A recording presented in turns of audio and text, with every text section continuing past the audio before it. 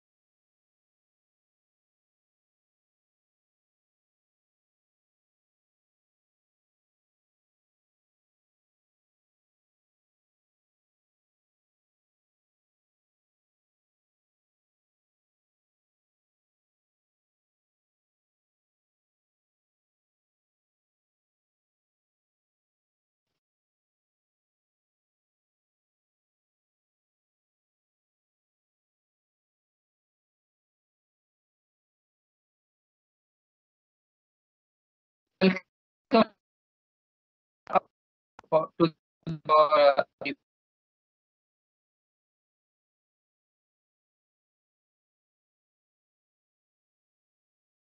in this uh, virtual session uh, during COVID-19 scenario, and we praying and we have been hopeful that you are being safe. So stay home, stay safe. Uh, whenever uh, you please stay with, with your family. Now, at IGBC are taking this opportunity uh, to share that what is being possible in the existing building scenarios uh, when the building is very old, uh, might be a 10, 20, 30 years of old, and uh, project managers or the facility managers wanted to improve on building the, their facilities, their infrastructure, and also wanted to make it a, a good building so that the employees, the occupant of the building would also feel good. However, whenever they have been looking at uh, the green building guidelines or they wanted to go ahead with the green building certification, the main is the myth is, uh, I would say, that whether we need to change the orientation of a building or how can we change the material, how can we change the structure, what about the glazing, whether it needs to be changed, altered, and so on so forth. However, uh, the from the feedback of, of a stakeholders IGBC has also thought and considered that uh, existing building parameters for uh, green certification should not as uh, the guidelines which would be applicable for a new buildings because in a new building there are many parameters which would be taken care by the design and the existing buildings they should be evaluated more on their operational performance rather than their designing parameters. Thus, uh, IGBC has bring out its own focusing on the operation and maintenance, uh, green building guidelines for, for the existing buildings. Uh, now here there have been many attendees who have either already registered their project with us for going for a certification or they have been thinking to go for a green building certification for their existing offices. This entire session would be focusing on the key parameters, what would be required for uh, green existing building certification, or what all things uh, can be doable in your existing buildings so that it would be stepping forward this to showcase that uh, uh, how it has been possible to convert an existing building into a green building. Uh, let me welcome you, Mr. Himanshu Datta Prajapati, uh, our presenter for the day. Himanshu Prajapati uh, is an engineering graduate followed by their masters into the green energy technologies. he's currently handling uh, I think more than 100 of uh, existing buildings and India located for different verticals, different segments. Uh, is also taking care of uh, the data centers, uh, followed by uh, the, the, very interesting things which recently we have initiated of a net zero energy building. How to convert an existing buildings into a net zero energy buildings. Himanshu has also having an enormous amount of experience in this segment. Now, uh, along with this, there are categories of uh, simulation software to improve the energy performance in the uh, existing building.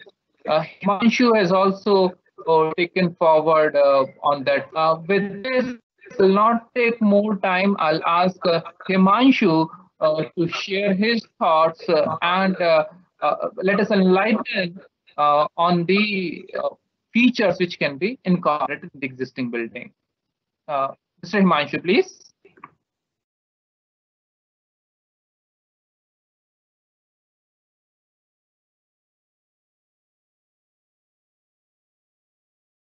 Very good morning, all.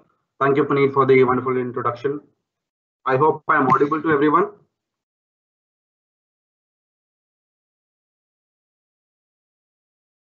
Yes, Okay, hoping that I am audible to everyone, I will proceed now. Uh, hopefully everybody is okay and uh, are keeping safe at their own house and most of the people are working home. Uh, Please share your presentation. just a minute.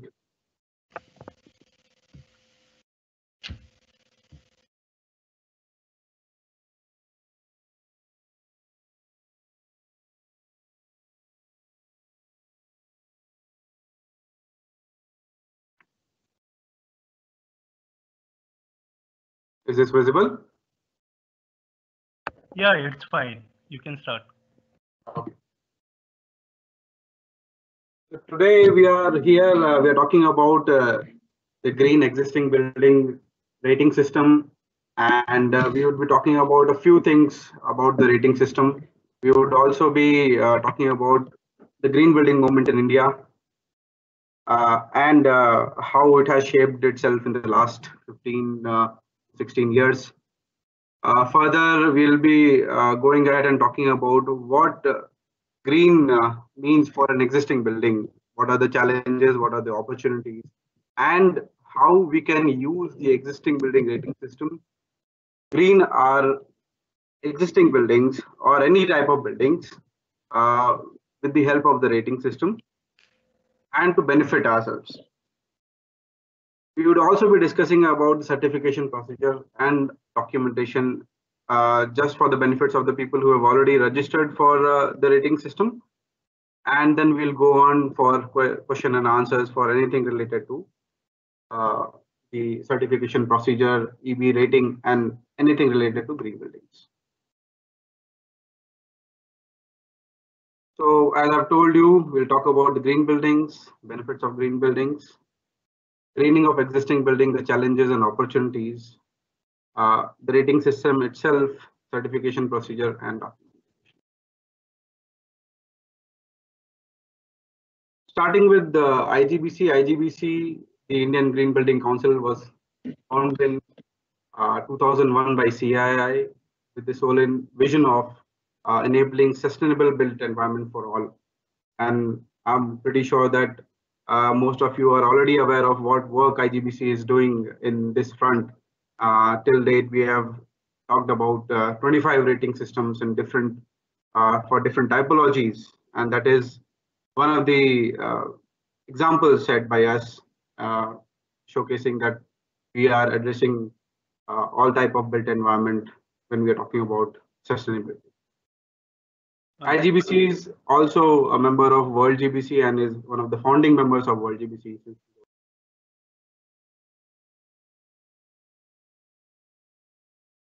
Through internet के issue. CII Sorabji Godrej Green Business Center is where uh, our headquarters is. This center was inaugurated by uh, late Dr. APJ Abdul Kalam in 2004. And this is one of the key centers for green business. In fact, is called the headquarters of India GBC. Since 2001, uh, when the first green building of India, which is the platinum rated green building of India, was certified, which was 20,000 square feet, we have come a long way. So we have uh, reached 7.16 billion square feet with around 5,900 green building projects, of course, in different forms of or different uh, stages of greening, I would say. ऐसा होना नहीं चाहिए sir. The 25 uh, rating systems mobile से check कर लीजिए. वही link है, link वही है sir. There are 25 rating systems which are there addressing different types of built environment. So we have uh, commercial uh, rating systems.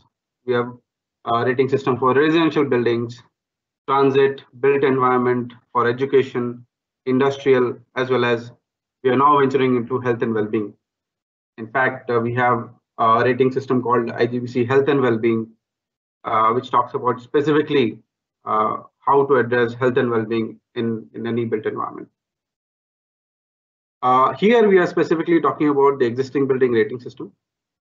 And uh, very recently, I would also like to point out that we have launched the net zero energy building rating system, uh, talking about the net zero energy for uh, and how a building can achieve the net zero energy performance in operation as well as in design.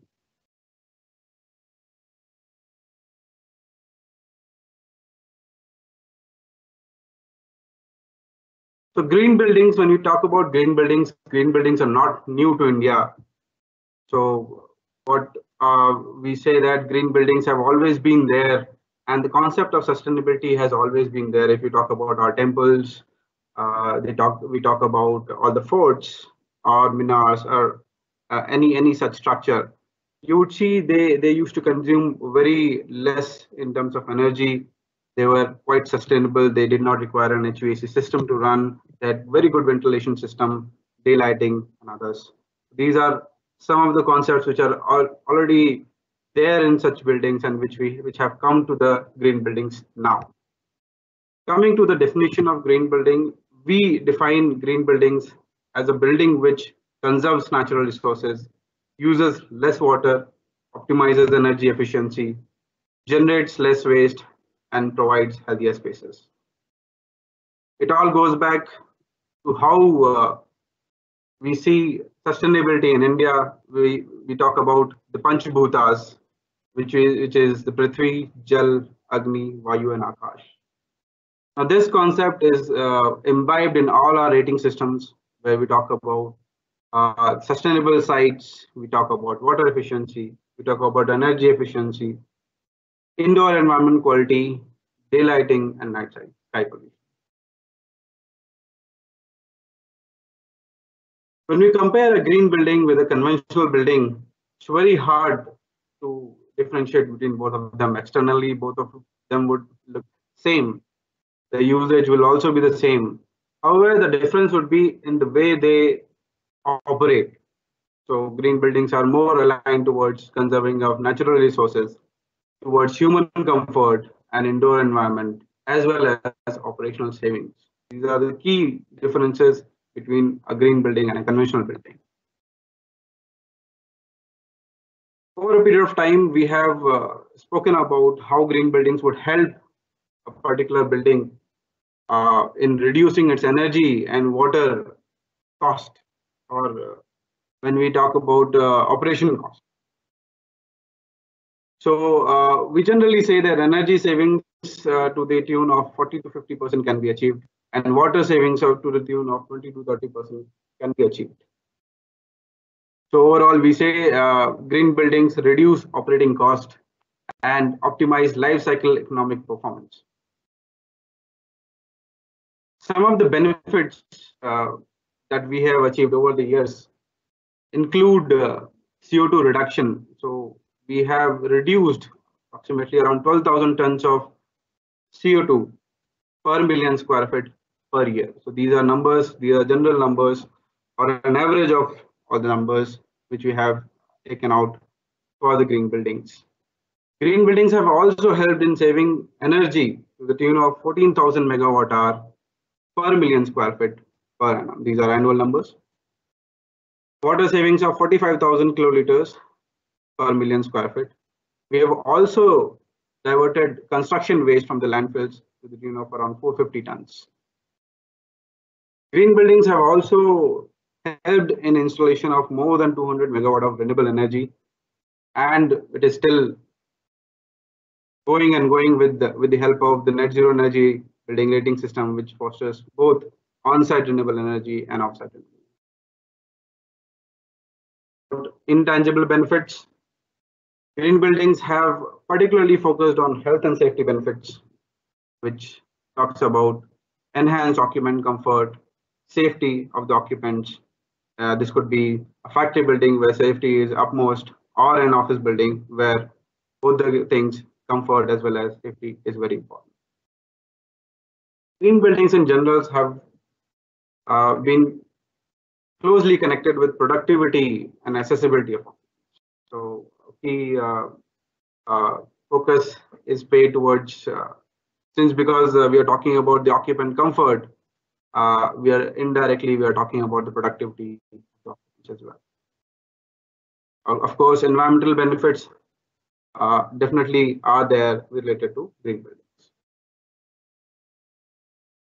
So over the years, what green buildings have done differently, uh, some of the things are highlighted over here. So green buildings in general uh, talk about the integrated design or a team effort. Usually when we talk about buildings in general, uh, during the different stages of construction and operation, the teams are different. They do not interact with each other. However, for the last decade or so, green buildings have fostered the relationship between, uh, let's say, the person who is constructing the building, the person who is designing the building, and the person who is operating the building. So if you put up a joint effort or an integrated design approach, it is easier to achieve a, a higher performance for Green buildings have also spoken about a holistic approach. It is not just about materials or indoor air quality or site sustainability. It is also about the, the uh, amalgamation of energy and water savings, materials, IAQ, site. So we have to look at it in a holistic manner. It is not just savings, let's say, so just for the energy or just for the water. Green buildings have adhered to standards such as NBC, which is National Building Code, Energy Conservation Building Code, IPMVP, SMACNA, and others, and hence have adhered to the best of the standards and are able to perform very good. Talking about the HVAC system and indoor air comfort, in general, uh, green buildings have been able to achieve a higher HVAC performance. One such example is when we speak about the square foot per TR, uh, which is now achieved at around 600 and even above. So 600 square feet per TR has become a norm now when we are talking about buildings. We have also spoken about uh, going for chillers with the highest COP. For an example, nowadays chillers of COP 7 and above are available, and this is what is preferred. Many of the buildings have also adopted solar air conditioning. One such example is Turbo Energy in Chennai. We have spoken about passive cooling, Eco Mall in Dehradun. So all these have helped the buildings to achieve a higher performance than a conventional. Green buildings have also spoken about uh, introduction of new technologies and products into the building sector, such as waterless urinals were first introduced in a green building. Root zone treatment system for the treatment of wastewater generated in a building, light pipes for higher daylighting, widespread use of fly ash blocks, of course, because of the reuse uh, uh, materials, insulated walls, roof and glazing, so uh, which is key focus of green buildings in terms of achieving energy performance. Low emitting materials, paints, sealants and adhesives, etc. Green buildings have also focused on resource efficiency when we talk about reuse of used furnitures. One such example is ITC Green Center, Gurgaon Energy. Over the years, uh, green buildings have used simulation tools for both energy and lighting for optimizing the use of energy in these buildings. This can be used at both the levels, uh, even at a design level as well as, as operational. Going further to the green existing building rating system, which we are, which is the focus topic today. So the green existing building rating system came in 2013. We till date we have around 200 registered projects of around 64 million square feet, out of which around 108 projects have already certified and which are operational. We talk about the uh, existing building rating system. The main objective of the rating system was to facilitate building owners and facility managers in implementing green strategies, measure the impacts, and sustain the performance in the long run. This is a very important aspect. Sustaining the performance in the long run is what we, we focus on in a green building or an existing green building. This was first of its kind of rating system to address sustainability in an existing building.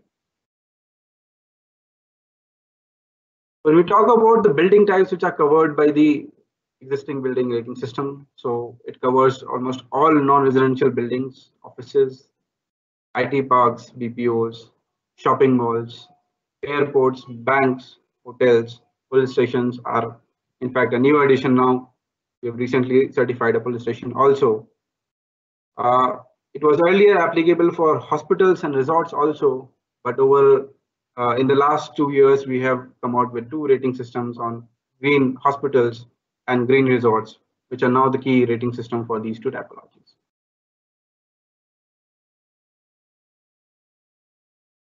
Now let's talk about a, a bit about what the existing building rating system is all about. So existing building rating, when we talk about as around four main modules which is site and facility management, water efficiency, energy efficiency, health and comfort, and then there is the innovation and design. Each of these modules have got prerequisites. There are around seven prerequisites, and these are mandatory requirements which are important for achieving a green building certification. So without these, you will not be able to achieve the certification. Now, when we are talking about an existing building, there are various challenges which are there. Uh, so these buildings could be already green buildings. So if they are already a green building, let's suppose they have already been certified in new building category, they must have already done a lot of things to achieve the green status. And for them achieving the existing building rating system certification would be fairly easy. However, it may not be the case with most of the buildings most of the buildings when they come for green building certification they've got some or the other challenges. Few of them are highlighted over here. So mostly we have seen that buildings in general have a poor waste management. So they may be having uh, somebody who's taking care of the waste management but it is not monitored. One such example is seen over here. Uh, very often we see that green buildings or, or existing buildings which come for green building certification have got a poor fresh air ventilation. They either will have will, will not have a fresh air ventilation for most of the HVAC uh, or the conditioned area, or they may have the systems but they are not operating. Most of the buildings will also uh, be having be using toxic housekeeping chemicals which are not recommended. There are several other opportunities related to, or rather challenges related to existing building. For example, for an existing building, the orientation cannot be changed. So you cannot now benefit from the orientation when we are talking about where do you face uh, the building's facade. The envelope, envelope most often cannot be changed. It can be modified to a certain extent when we're talking about insulation. However, majorly you will not be able to demolish any one portion of the building and rebuild. The building can have inefficient systems and equipments. You may have metering at a building level, but may not have the sub-metering. And most of them all, you may not be having monitoring even if you are having sub-metering. Metering can be uh, both for energy as well as water. Talking about this, what are the opportunities which lies for an existing building for going green. So first and foremost is fostering good waste management practices. This is one very important thing because waste management is a big problem in India. And if we do not segregate the waste, we do not treat the waste, then it becomes a problem. And in the long run, it will be a very big problem. Are opportunities for uh, reducing water consumption of the building. Of course, water being uh, one of the uh, very important and precious commodities right now. And since the amount of water uh, is reducing because of the reduced uh, uh, water levels, underground water levels, and uh, changes in the climate. So because of which the availability of water is reduced and hence reduction in water consumption is a very important aspect. Energy consumption, of course, is a very important aspect. There are opportunities in terms of fresh air ventilation. So quite often the buildings do not address the fresh air ventilation and this can be addressed uh, during the green building certification. We also talk about enhanced indoor air quality when we're talking about the pollutants, when we're talking about uh, the CO2 monitoring and others. Uh, one very important aspect which we have seen in during audits is uh, giving facilities for differently abled. Uh, quite often, many of the buildings do not uh, adhere to uh, a universal design for differently abled.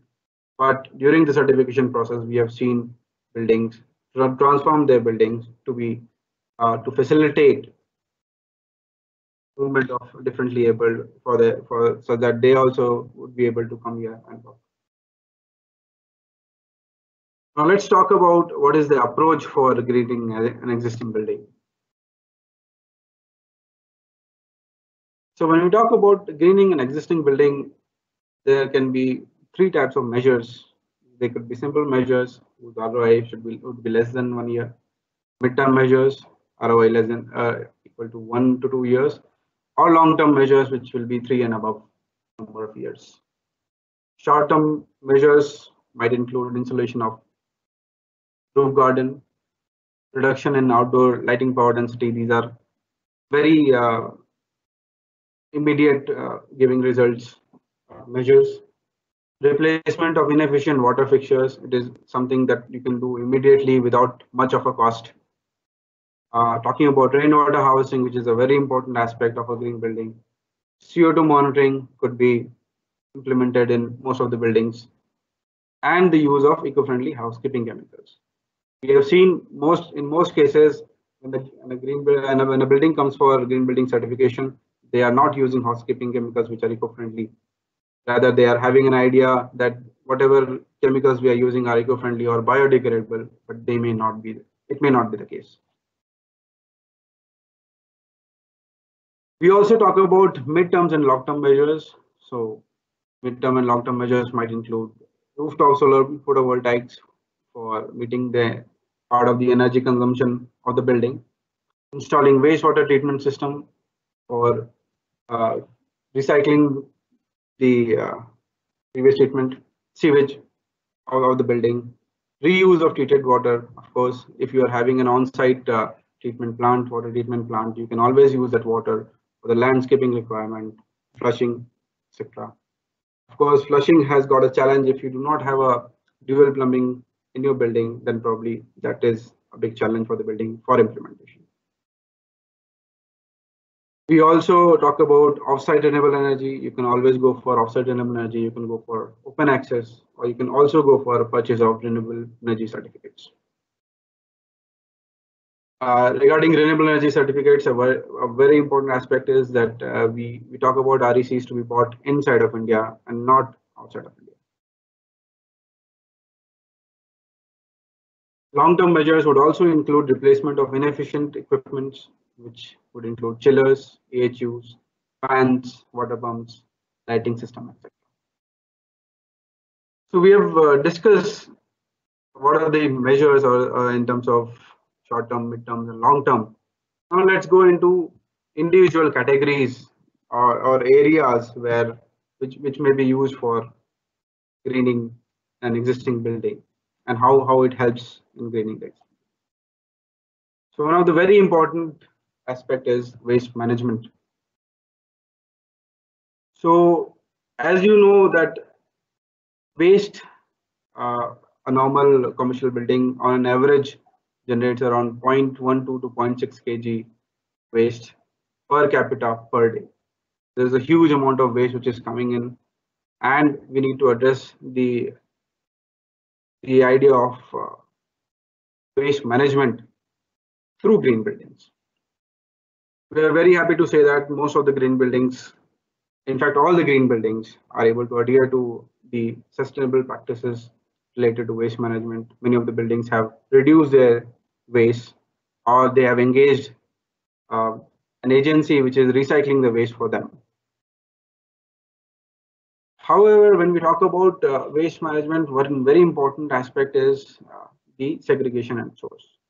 So uh, we say that if you're segregating the waste at source, 80 of 80% of the problem is solved then and there. So then you can take the dry waste separate, you can take the waste it will separate and treat them accordingly. However, if you if it is collected in, in, in one bin, let's suppose say dry waste and wet waste is in one, one bin, it is very difficult to segregate and hence treating is very difficult. You've also seen waste management. Uh, some, some of the examples over here is uh, uh, how you can use the waste in your own building. So this is one such example where they've made, uh, you know, they've reused and recycled the waste for display. Here we can see one such example where waste is being segregated in different areas. So sheds have been made for different type of waste. So these could be paper, metal, uh, leaves, anything that is coming out of the building can be segregated and then separately recycled or reused.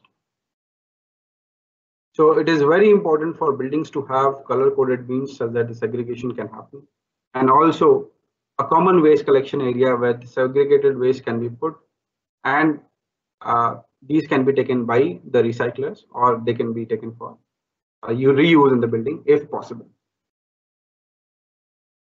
Uh, you can see one such example over here is uh, the dry leaves is collected and they're shredded and then ultimately used in an organic waste uh, converter, which ultimately converts into manure and is used in landscaping. So through this, you, you can see that you are able to use organic manure in your own building and hence reduce any such a any such fertilizer which may be required for landscaping. Another example is using the kitchen waste for producing biogas, which can ultimately be reused in a decanting. This is one unique example that we have seen in the form of a bottle crusher, uh, which can be deployed mostly in public buildings where uh, a lot of plastic bottles are being reused and uh, here uh, the bottles are shredded and they're sent for recycling.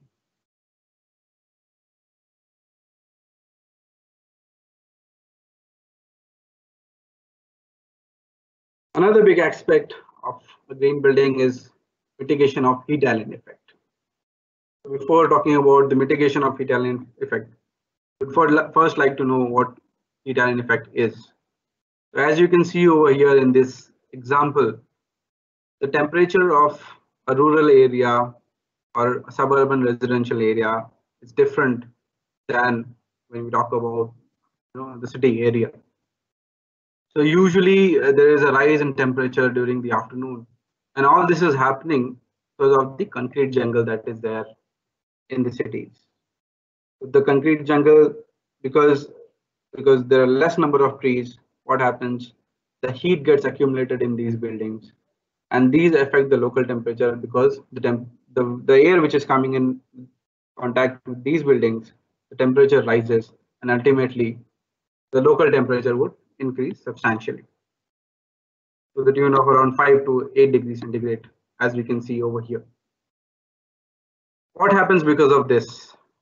Because of the heat island effect, you will have higher temperatures, higher air temperature outside, and because of which you will have to keep your air conditioning running for a higher amount of time. The air conditioning would run more because because of this effect, and ultimately you will have to spend a lot of energy for cooling your environment or cooling your building.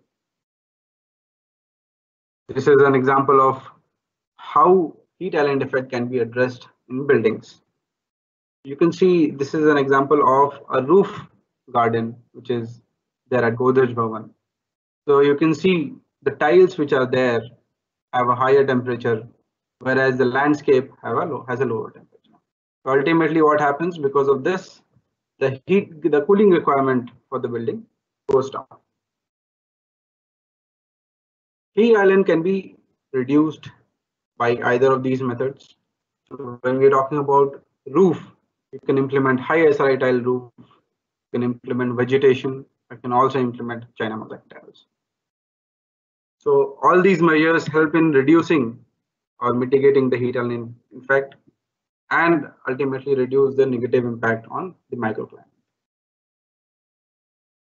When talking about non-roof structures, you can use grass pavers or grid pavers and shades for reducing the heat island effect in such areas.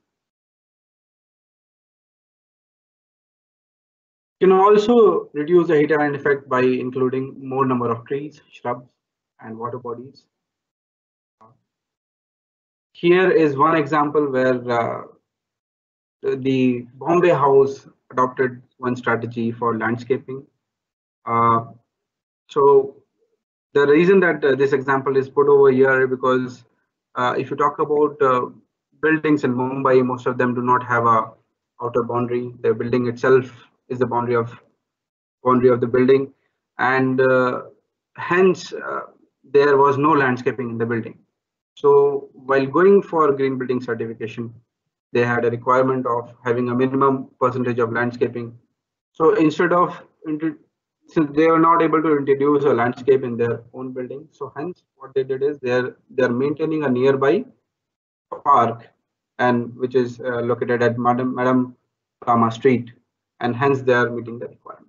So it is not just uh, the boundary of the building. You can always go beyond the boundary of the building and address sustainability. Some examples of landscaping you can see over here. So the water bodies as well as the trees and shrubs, they help in reducing the local microbiome. Another very important aspect is water conservation. So when we talk about water conservation, the first thing that we need to address is uh, water conservation through water efficient fixtures.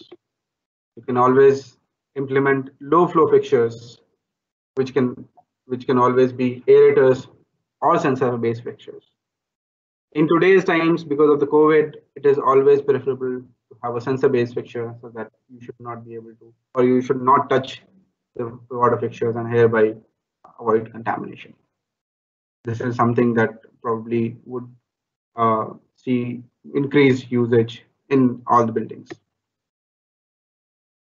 We also talk about low flow fixtures in, uh, in the form of water closets or waterless urinals so these can also be sensor sensor-based urinals or can also be waterless urinals. When talking about the water, uh, the efficient fixtures, water efficient fixtures, these are some of the uh, flow rates which can be referred for meeting the requirement. So water closets for full flush, they should have six liter per flush per and uh, for half flush they should have 3 liter per flush. Urinals may have uh, consumption of 4 liters per flush.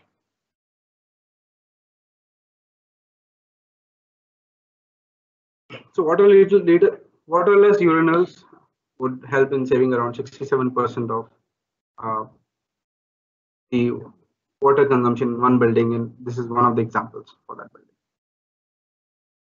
When talking about water consumption reduction, a very important aspect is uh, implementation of efficient irrigation system through drip irrigation, central shut-off valves, and installation of water meters for monitoring of water usage.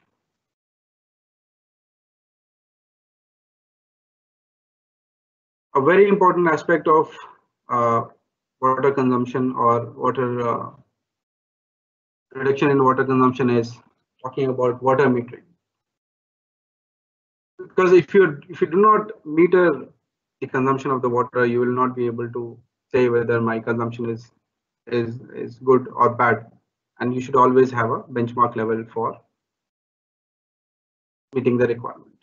So for an example, for an for a office building, you can have uh, water consumption per person per day could be around 45 liters so this can become a benchmark for you if you are meeting in your building and if you're monitoring it, you can always compare.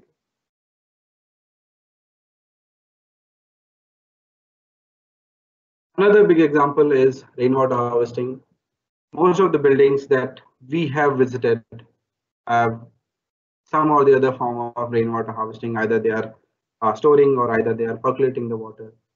So more or less, these are addressed. However, there are buildings which do not have rainwater harvesting in, in them, and this needs to be addressed. So you can have two strategies for rainwater harvesting. Either you can collect the rainwater or you can percolate the rainwater to the ground. If you're collecting the rainwater, you can store it or you can in, in the form of a tank or you can have a collection pond. If you're storing the rainwater, then you can reuse either in, in your building uh, for let's suppose say flushing requirement or even for uh, hand washing requirements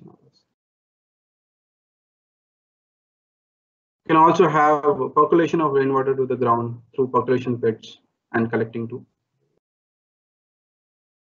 This is one such example of uh, rainwater harvesting in a large building, like a factory, where they have uh, put rainwater water harvesting pond or collection of rain. Another such example for one facility where they have implemented both rainwater storage as well as percolation.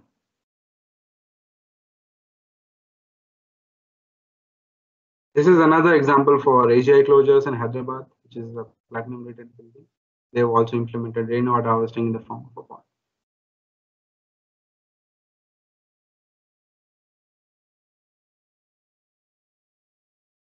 Let's talk about wastewater treatment and reuse. So of course, now first you have spoken about uh, how should you reduce the water consumption in a building. Then we talk about how the wastewater generated has to be treated and reused in the building.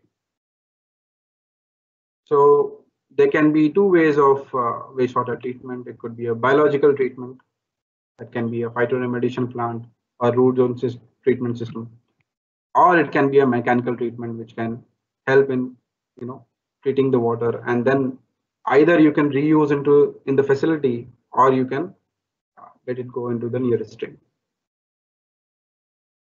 Several ways. So this is an example of uh, stp and etp where the water is being reused on this particular site for uh, landscaping purpose. So the treated wastewater can be used for landscaping can be used for flushing or it can also be used for cooling tower makeup water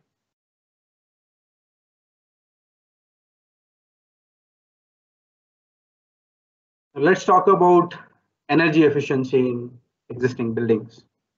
So we are already aware of how, uh, what are the ways that energy efficiency can be addressed uh, in existing buildings. Some of the features that you can easily recognize.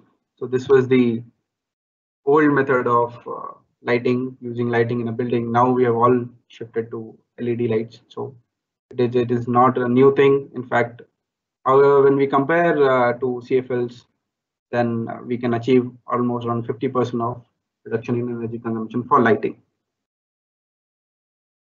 Exterior lighting uh, reduced reduction in outdoor LPD for garden, pathways, and facade, etc. should be achieved. A very important aspect for exterior lighting is talking about night sky pollution. So all the fixtures should be downward facing and the facade lighting should be minimum.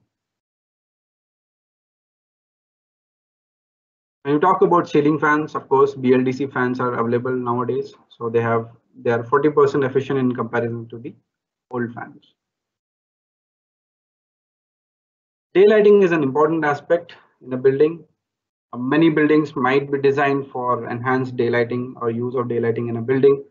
However, in case the daylighting is not very good, you can always deploy uh, light pipes or skylight in a building uh, one such example is on the left hand side, you can see a light pipe coming through the windows and redu reducing the use of artificial lighting in that building. Examples of daylight can be such. These are uh, light pipes installed in one such facility. And you can see you cannot differentiate between an artificial light and, and a light pipe. So these can also be used for lighting in areas uh, such as basement and uh, can, of course, that would require uh, some amount of breaking the building. However, it is not very difficult to implement.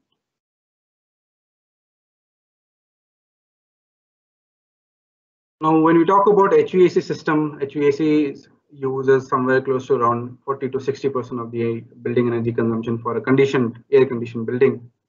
And uh, it is very important to reduce the energy consumption related to air conditioning.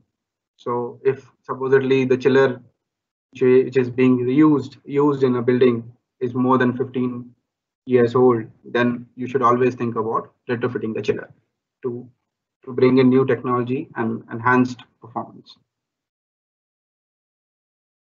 Talking about energy efficiency, you should always use BEE for four star rated appliances. We what we say is uh, it should at least be four star because uh, if you're going with three star, that would become two star or one star in the next two or three years because we continuously uh, assesses the performance of all these appliances. So BEE star or equivalent labeling is available for air conditioning, refrigerators, projectors, LCD, and many more.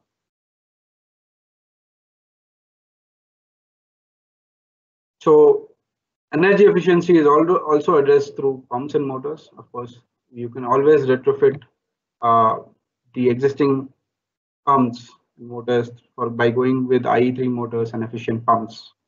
These would reduce the consumption substantially. Another aspect is talking about uh, renewable energy. So it is always preferred in a building to go for a renewable energy if possible. Uh, many buildings might have limitations in terms of space. They do not have enough rooftop space. Uh, they also might have limitation in terms of implementation of RE, for example, in case of a heritage building where the facade or the roof is not allowed to change uh, by the government. Apart from that, most of the buildings have space for at least meeting uh, installation of uh, solar photovoltaics for at least meeting around 2 to 5% of the annual energy consumption of the building. So you can always go for uh, BIPVs, micro wind turbines, and solar wind hybrid. Also, this is one of the examples that we always give. We can always explore for solar wind hybrids for your building.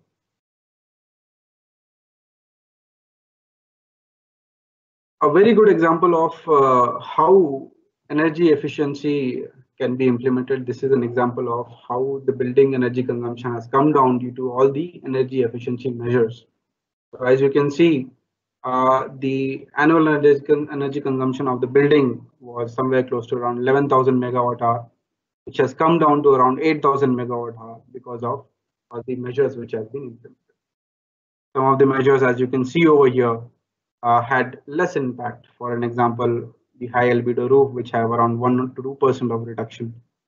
Uh, the exterior lighting might not affect much. However, when we talk about the uh, implementation of uh, LED lighting, you can see the LED retrofit have uh, reduced the uh, energy consumption significantly. Also, when we talk about retrofitting the chillers, it has come down significantly. So these are the measures, some of the measures, in fact, for a building which can be you know, taken up for reducing the energy consumption of the building. Green buildings in general have used energy simulation as a tool to improve their efficiency. So quite often we talk about uh, energy simulation in new buildings where we are uh, first comparing the energy consumption with, uh, let's suppose say, uh, uh, the, the codes like the ASHRAE or uh, energy conservation building code, where you have to comply with these codes. However, this can also be used for an existing building. Now, it's very important in an existing building that you talk about uh, calibration of your model as well, because if you are having a data of last one year energy consumption, you can always calibrate your building energy model to that. When you are calibrating the building energy model, then you can take the benefit of the building model to also decide upon what measures to adopt for an example, here we have uh, talked about calibrated simulation, where the performance comparison was done with the uh, baseline building, and energy efficiency measures were identified and retrofitted accordingly. So you can always see which measures would give you the most savings, and then you can implement those savings into your building. So these tools are, or the energy simulation tools are very good tool for existing buildings also and i think most if if people are able to uh, do energy simulation in a building that is the most preferred method. Last but not least we should always talk about energy metering and management. So we encourage sub metering and continuous monitoring. Sub metering is very important because you would be able to understand what is the energy mix of the building, how much is the HVAC consuming, uh, HVAC consuming the energy, how much uh, lighting consumption is there, and others. So compliance could be, uh, when we talk about energy metering and management, you can always go for energy metering. You can always talk about retrofitting the building system to uh, engage building management system also. So this is something that can also be spoken about for retrofitting in an existing building. So these are the areas where you should talk about sub metering. It could be uh, common area lighting, exterior area lighting, water pumping, groundwater pumping, treated wastewater pumping. Should also be implemented for renewable energy generation, power backup systems, elevators, escalators, or it may be for BTU meter for chill water consumption also. So all these help you in identifying areas where the energy consumption is over and above uh, the baseline and where action need to be taken for reducing the energy consumption of it. So this is a very important aspect of a green building. Metering and monitoring is something that should be done in any building, whether a green building or not. Let's talk about one such case study for Bombay House, which is Tata headquarters in Mumbai. Uh, we are, quite often we talk about this building as uh, case study because uh, this is something uh, very important to know that this is a heritage grade 2 structure. And many of the things are not possible over here. For example, implementation of an STP, uh, talking about on-site renewable energy, which is not possible. Even after all these challenges, Bombay House is able to achieve gold status. And they are able to reduce their energy consumption over a period of year and reduce their EPI and hence improve their energy performance. So you can see uh, their energy performance is depicted over here from the year 2010 to 2017. They had a target of 90 kilowatt hour per square meter per year and they have already achieved it some of the strategies which were implemented at Bombay House. So you can see over here in this particular picture, they have uh, spoken about solar PV systems.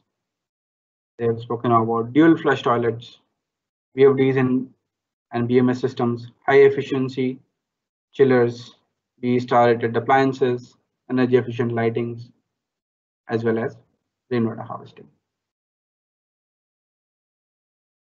uh, a very important aspect of an of a green building is uh, the fresh air ventilation for the air conditioning uh, areas. This is a very important aspect, and they should all buildings, all green buildings adhere to the minimum requirement of air ventilation. So these are the retrofit measures which were taken at Bombay House, which resulted in reduction of uh, 5 lakh kilowatt hour of energy and CO2 savings of 97 tons.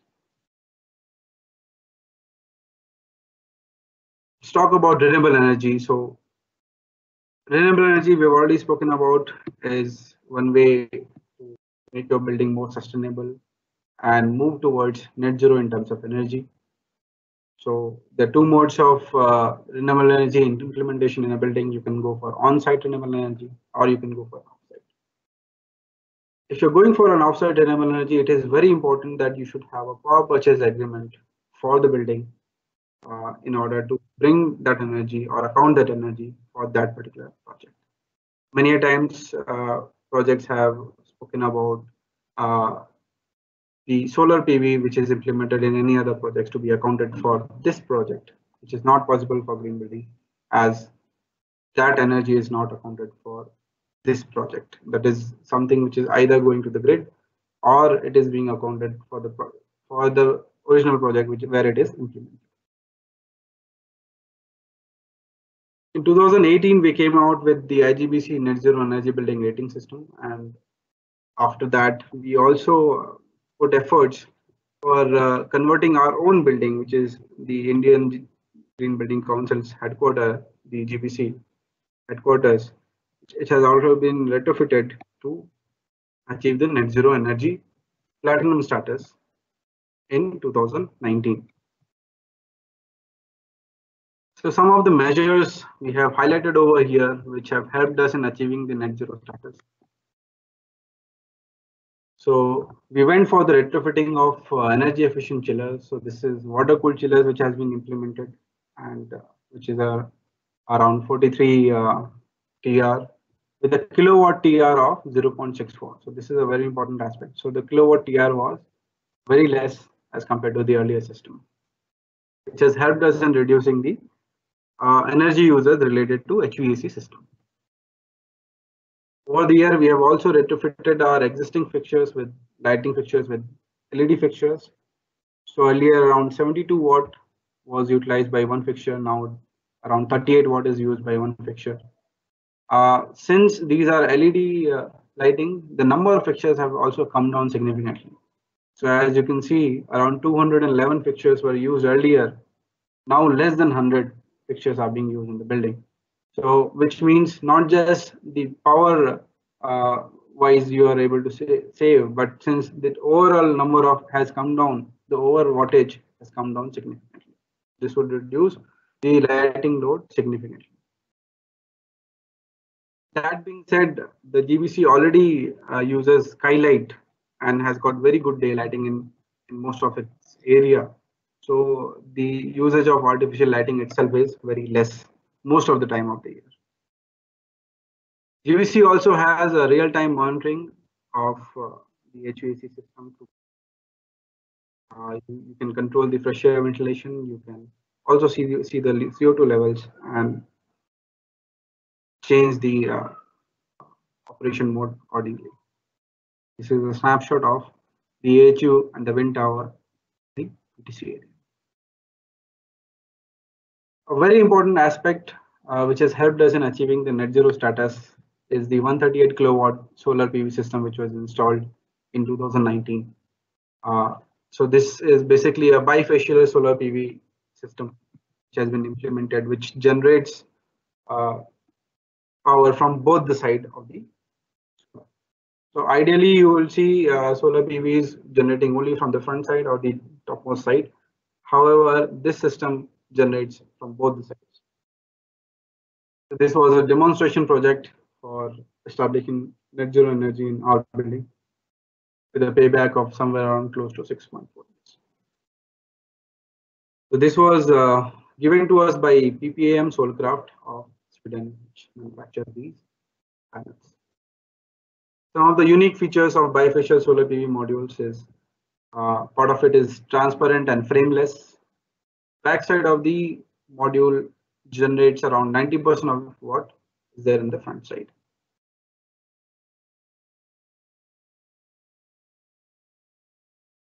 As you can see over here, we have spoken about 24%, 15%, 22 and 57. These are ways in which the solar modules were uh, implemented. As you can see, the last one, the 57% is when the solar panels, panels are elevated at a height of around 1.5 meters and because of which uh, the reflection is there from the roof and hence the backside of the panel also generates significantly.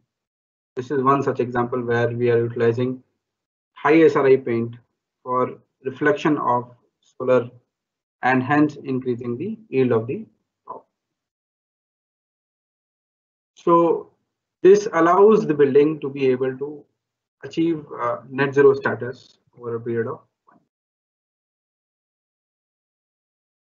We have spoken about all the important aspects where we talk about energy, water. Uh, a very important aspect of an existing building is also eco-friendly computing practices.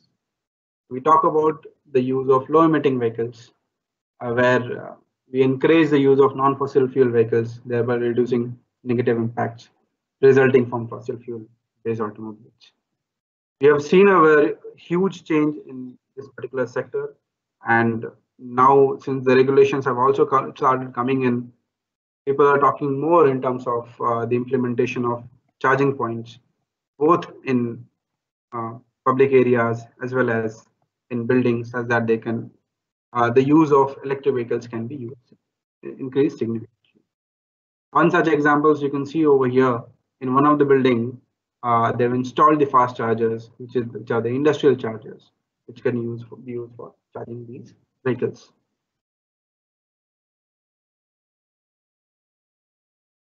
Another important aspect for a green building is design for differently abled.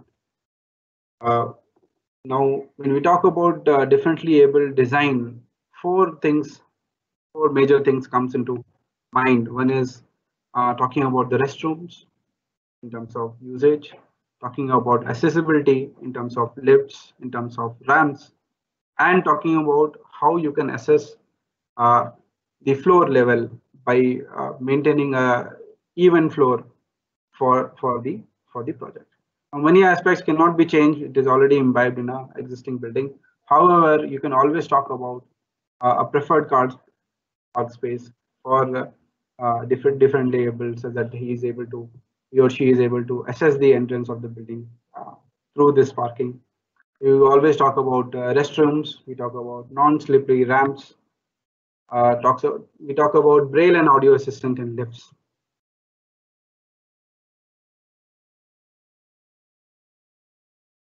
Further, let's talk about the indoor environment quality and occupant well-being. This is one area which uh, is is very important for green buildings. And over the years, uh, green buildings have focused a lot in improving the uh, indoor environment quality or the indoor air quality, which you talk about, uh, and the occupants' well-being. So all the green buildings they provide better ventilation to ensure good indoor environment. For air conditioning building, or air conditioned building, fresh air uh, uh, through a mechanical system is very important and they should be implemented. For an unconditioned building, at least uh, the opening should be provided, which is so that the ratio of opening to the carpet area is at least 4%. So all the build windows and openings would, would should be at least 4% of the carpet area so that you can open these structures in the time of need.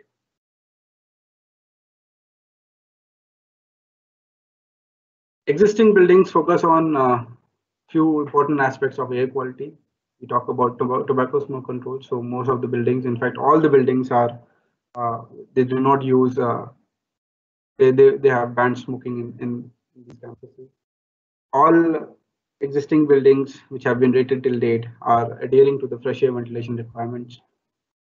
Now, when we talk about fresh air ventilation, uh, it is important to understand that many green buildings may already have a fresh air ventilation system. In such a case, you need to understand whether the building is or the fresh air ventilation requirement is is meeting the, the codes or not. So you can always refer to the existing building rating system annexure 2 where you can calculate the fresh air requirement for each and every space and then compare what is the amount of fresh air ventilation which is available in these spaces. So after comparison, you can say whether your space or your building as a total is meeting the requirement of fresh air ventilation or not. The green building, uh, green existing building rating system doesn't specifically talk about monitoring of uh, parameters like PM10, 2.5, but this is where we are uh, talking about going towards in the next version when we're talking about monitoring of indoor air quality parameters also. However, uh, we should also highlight that PM10 2.5 TVOC are something that you should always monitor.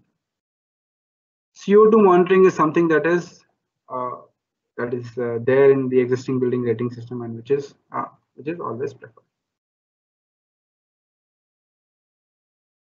Now, now in an existing building, you this is one of the area which is very easily implemented. So most of the buildings when we first visit do not know what uh, a green housekeeping chemical is. But over uh, in a very short period of time, they are able to implement the, these chemicals because they are readily available in the market. And uh, two such examples are given over here. These are certified by uh, Green Pro, Green Pro certification. Existing building also talks about enhanced occupational health for, for the occupants. One such uh, report was published by us where we have spoken about uh, uh, the occupants well-being through the various parameters and how green buildings in general have helped in achieving all these. Many such those parameters were thermal comfort, acoustic comfort, visual comfort, ergonomics, greenery, health and hygiene, social inclusiveness and awareness, fitness, and green transit. We have received uh, many uh, surveys from all the certified buildings and one such example is displayed over here where uh, people say that green buildings allow facilitate both daylighting and glare control for 89% of the occupants. So the 89% of the occupants said they are very comfortable with the lighting uh, availability in that particular building, that certified building.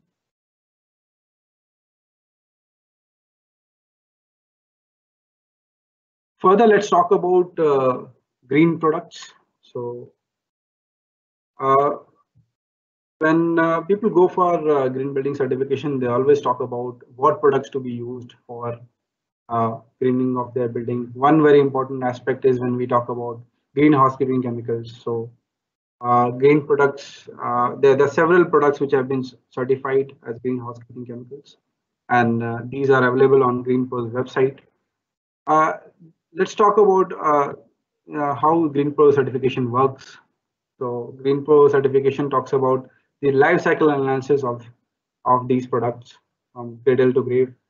And uh, so these are following international standards and protocols for testing and evaluation. So till date around 1500 uh, products have been certified as green uh, for more than 110 companies.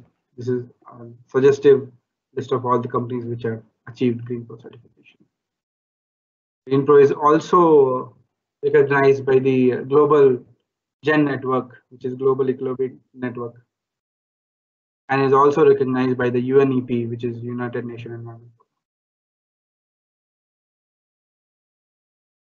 Pro in general is employed as a tool to identify the green products, materials, and technologies. In fact, uh, you can easily go to the website of green products, which is greenpro.com, where all these products have been listed and uh, in several categories along with their technical manuals.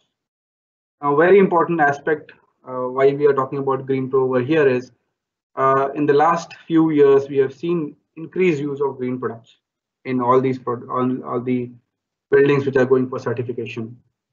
Many such products uh, can be used by buildings which are going for either a new building rating system or existing building in new building, of course, you can talk about construction materials also. Uh, you can talk about building facade, envelope, building interiors and technologies, etc. For an existing building, of course, the scope may be limited to just paints, coatings, and chemicals, uh, building interiors, and few technologies like IAQ solution, rainwater harvesting, solar photovoltaics, and others. Till date, uh, when we talk about uh, Green Pro, almost around 80% of the passive building products by cost is covered by Green Pro, which is a very big achievement in itself.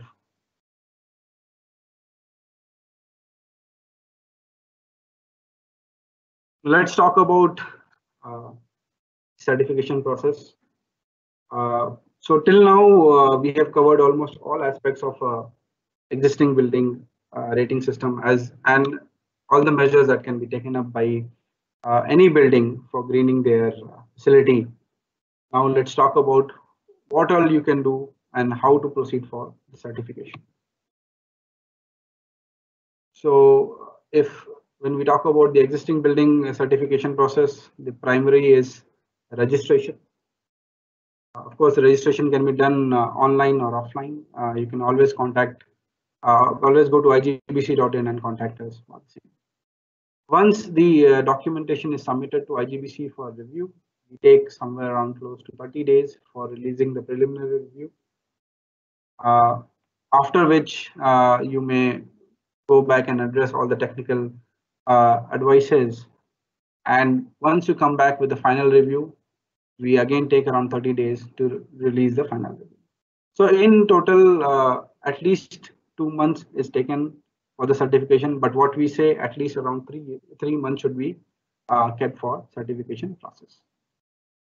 So once we release the final score by by releasing the final review, once you as acceptors, we award you as with the Playken certificate. Uh, showcasing that you have achieved certification with the levels. Now to to few of you which who would be interested in documentation also, I mean, you can always go for uh, consultant in case uh, you are uh, yourself not able to do the documentation. You can contact us. We can give you the list of the consultants who are who can do the documentation for you and get the building certified. In any case, uh, documentation requirements are key to, under, to be understood by all the owners or any building which is going for certification such that you can help the consultants also in achieving the certification because you would be providing the feedback or all the documents for them to compile. In any case, uh, a brief about the documentation is given over here. So there are four main components to the documentation for existing building rating.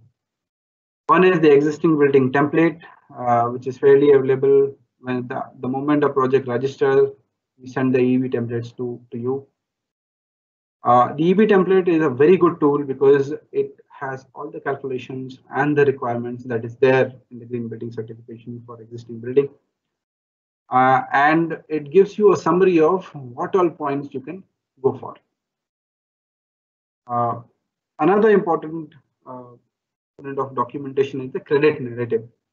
So for an example, if you are uh, applying for uh, water conservation credit, uh, where we are talking about conservation through implementation of efficient water fixtures. So there you need to give you give us uh, the information about what uh, is the uh, FT for the building, what is the number of occupants, what are the systems which are there, and uh, how uh, you are reducing the water consumption of the building. So all this uh, requires a small narrative. In fact, almost all credits would require some or the other background for us to other I mean, evaluate. You can also give calculation sheets. Of course, uh, most of the calculations are part of EB template and they can be used for showing the calculation in terms of savings in terms of how much uh, you are able to achieve in terms of credits. The last but not least is are the supporting documents. In fact, um, at times these play a major role because uh, they would support uh, the the way the, the thing that uh, in terms of uh, implementation of measures, what measures you have implemented, they would support the cost. These could be in the form of invoices, uh, a policy document could be a contract or could be simply in terms of photographs of implemented measures. Uh, I have given you a short snapshot of the EB template. I don't know whether uh, it is visible. Uh, however, you can see over here, uh, we can see water efficient fixtures, uh, which is which is displayed over here. This is the calculation for the base case and the proposed case in case of water consumption of the building. So you can easily calculate it over here. You don't need to uh, put a different calculator or you don't have to go anywhere else. All these calculations are readily available. Uh, this is an example of uh, rainwater harvesting where you can see based on the past data, uh, you can always calculate the, uh, the amount of uh, rainwater harvesting that can be done. So for rainwater harvesting, as we as we know, one day rainfall is what you have to capture in a building. So that is can be calculated over here. Another very important aspect is the fresh air ventilation. So fresh air ventilation, uh, the important aspect is to understand how much is the amount of fresh air required in a building. And the calculation sheet is also available in the EB template which can be used for knowing what is the amount of fresh air ventilation based on the area and based on the people which are there in the building and or, or the space or the particular space that we are talking about. And then you can see whether that particular space is meeting the requirement. So these are the four major areas which constitute the IGBC, uh, which constitute the documentation for certification. Um, Last but not least, IGBC also promotes uh, the IGBC accredited professional examination, uh, which recognize the holistic understanding of green building concepts uh, and also meets the demand for qualified IGBC professionals. So in green building certification, in fact, uh, we promote the IGBC examination so that anybody who is uh, part of the project would benefit from it.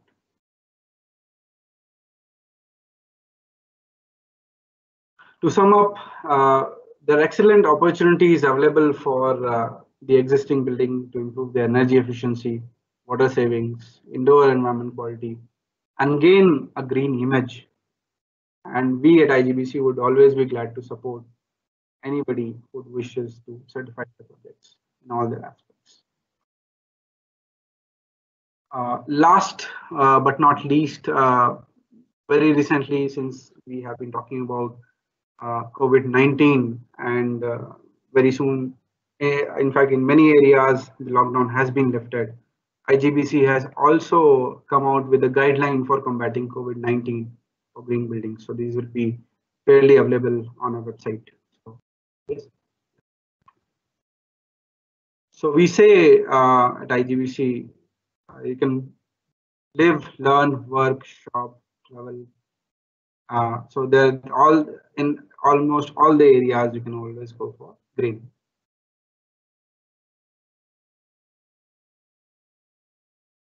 Thank you.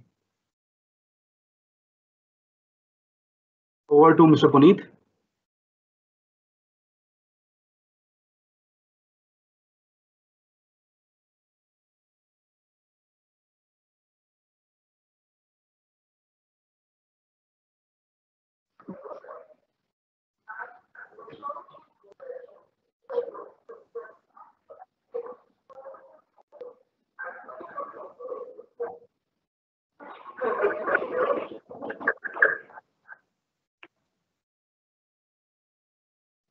Thank you, Himanshu.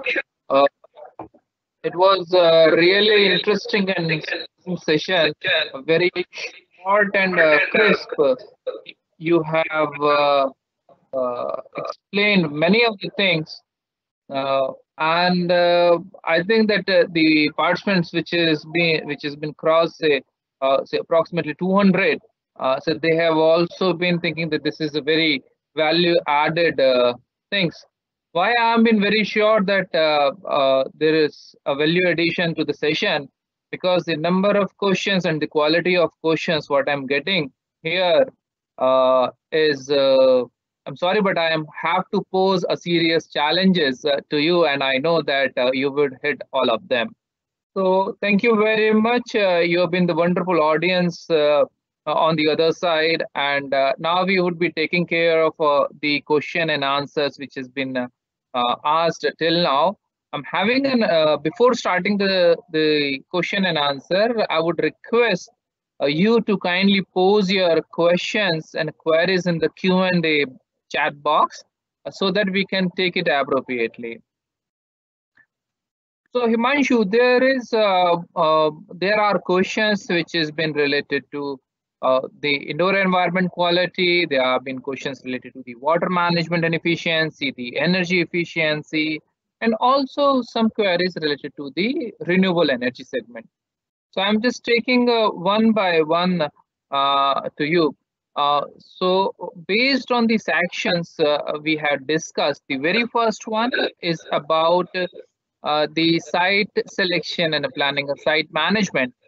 So Renuka uh, has asked uh, this uh, question that uh, can we use the high SRI paint, uh, the solar reflective index is high, on for non-roof areas like driveways to show compliance for the urban heat island effect, uh, which is for the non-roof. Yes, you can always use high reflective paint in, in, in non-roof areas of course, but uh, you have to talk about uh, the SRI values uh, less than 68 uh, because in such areas where you are walking or where a reflection is possible, there you will have a glare, a lot of glare. So in non-roof areas, you have to very you use it restrictively and you know in a manner that it does not have glare. Thanks, Himanshu. That was really interesting. But just adding to this, uh, there is another linking questions which says that to evaluate the heat island effect, do we need the simulation? And if yes, then what simulation softwares are available which can be used and accepted by IGBC? Uh, Puneet, uh, a very important aspect with respect to heat island effect is uh, that we are talking about uh, uh, the microclimate.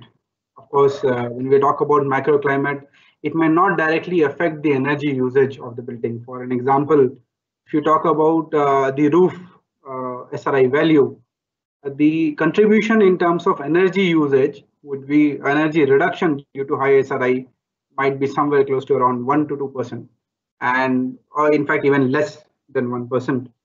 Uh, so it is it is very difficult to to account uh, the high SRI uh, effect uh, through energy simulation and uh, in most cases you will not be able to uh, benefit from it. So it is not recommended to use any simulation tools for you know you know accounting the high SRI effect. I mean you do not need that. Um, so, uh, related to this, uh, having another uh, posing uh, posing a question on the simulation software uh, says that uh, what would be the best simulation software you think for daylight and energy simulation studies? Now, is there anything available for the wind analysis as well? Of course, there are several tools, several tools which are available uh, DesignBuilder is one of them. eQUEST is one of the free ones which we which people use. Of course eQUEST is very much limited to energy. Of course you cannot uh, do anything else over there. For daylighting uh, people often use DIALux as one of the tools uh, which which is preferred. Uh, there are other tools also available for daylighting. In fact i can collaborate i, I can collate a list of such tools and also circulate among other participants. uh, sound interesting and the same things we may also share with uh, all of our uh, participants uh, to have a more uh, detailed idea about the simulation softwares. And uh, there are also few trainings which is also available to make you aware and train on the simulation softwares. We may also like to share those details with you.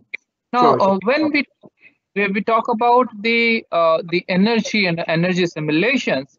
That brings me uh, to uh, uh Mr. Uh, Shivarasu from Coimbatore. He's been asking uh, that what is the LPD, the lighting power density for existing and green buildings as per the standard, or I may say which standard we have been looking at, and do we have any standards to consider the uh, the exterior LPD as well as the uh, interior LPD? Puneet, uh, I think uh, the best uh, document for, for referring for both interior as well as the exterior LPD is the Energy Conservation Building Code of India. There are two versions which are available. Of course, ECBC 2017 is what was followed up till now now uh, the new version ECBC 2017 Energy Conservation Building Code 2017 is available where both these areas are addressed. So both interior lighting as well as exterior lighting is addressed. When we talk about interior lighting, in fact, uh, there are two methods which are available for use of, of these uh, of anybody who is using it. One is the uh, building uh, area method, where you talk about based on the typology of the building, like suppose say an office building, the uh, the wattage would be light lighting power density would be described or the values given. You can also go for uh, individual area LPD level or the space uh, uh LPD level where we talk about uh, uh, different LPDs for different areas. For example, a parking would have a different LPD level. you know, the office areas would have different LPD, level, LPD levels and so on. So ECBC Energy Conservation Building Code is one of the uh, very good document. For office buildings in general, uh, the LPD level of uh, less than uh, 1 watt per square foot or around 10 uh, uh, watt per square meter is what is recommended in, in the terms of a building area. Oh, fine. That's great information, Himanshu. Uh, now, with this, uh, we are already talking about the energy simulation. So, Rajiv is willing to check uh, that uh, uh, they are given to understand that the HVAC system, uh, the VRV system is more energy efficient than the chiller-based air conditioning systems. Uh, your thoughts, please. Uh, of course, when we talk about VRV systems, uh, VRV systems are very efficient. However, we'll have to talk about the size of the building. Case for large size of a building, is always uh, recommended to have a chiller-based system because those are the most efficient. Uh, just a minute. However, uh, VRV system may not be possible for a very large scale building. Uh, these are efficient uh, for medium scale, small to medium scale building. Yeah. Uh, okay. Uh, so uh, there is. Himanshu, may I? Yes, yes, of course. Please proceed. I hope that I have uh, I'm able to answer uh, the previous uh, question. Of course, this can be elaborated further while talking about different sizes of the building and functionality of the building also. So that is something very key during deciding what type of systems to, to use. Mhm, Okay, fine. Uh, so coming back to the uh, to the energy part, and it is uh, looks like an energy questions, but ultimately turns into the uh, the indoor air quality questions. Now, uh, says that uh, someone he hasn't quoted his name, but they said that we are having the split air conditioner in our building projects for air conditioning purposes. Would it be considered for compliance to the fresh air requirement via multiple leakages? Uh, this is, uh, in fact, a very interesting question, and uh, uh, we have seen that many of the buildings, uh, which are small-scale buildings, uh, which are using unitary air conditioner for most of their spaces, they pose a lot of challenge for green building certification because they don't have a centralized uh, air conditioning system, they do not have a fresh air ventilation system, they don't have a dedicated outdoor air system. So when they come for certification, it becomes a challenge for us because green building certification has got uh, fresh air ventilation as a mandatory requirement. So you need to address that. Uh, there's some ways in which uh, uh, you know projects deal with it. Many projects would uh, go for installation of a fresh air ventilation system if that is possible in the building. If that is not possible due to uh, structural integrity uh, related problems or problems with availability of the space or uh, any such constraint, people usually go for uh, implementation of an exhaust system. We have also seen a few innovative systems where these inline fans are able to pump in fresh air from the outside as well as exhaust. So they work on a cycle. For an example, they work for 10 minutes as a exhaust fan and 10 minutes as a uh, you know inlet fan. So that would uh, help the the particular space in you know having some amount of fresh air coming from outside.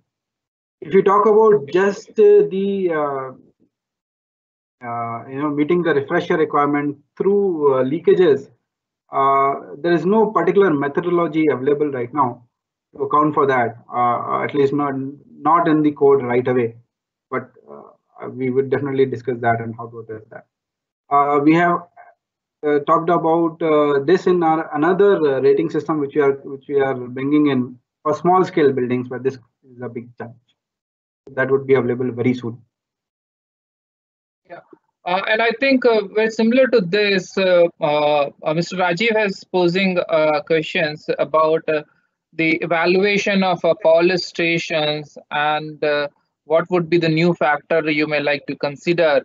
If you allow me, Himanshu, I'd like to answer these questions in continuation to the previous what you have mentioned, that the small service buildings guidelines, which is on the verge of uh, finalizing. So once it has been finalized, Mr. Rajiv, we will be sharing with you uh, and the participants uh, where the the criteria would be specific to the small uh, size uh, service buildings and uh, the police stations we are considering in the same rating system. Coming back to the the indoor air quality and the ventilation parameters, Mr. Shivarasu has been asking that is there any regulatory requirement for periodic monitoring? Uh, uh, in terms of water, in terms of uh, energy or IAQ audit? And if yes, then which authority will do it? Or is it submitted to any panel?